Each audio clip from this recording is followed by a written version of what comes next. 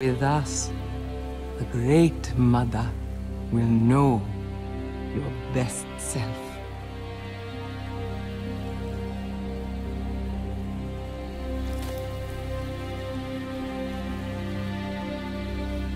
Your sorrow is ended.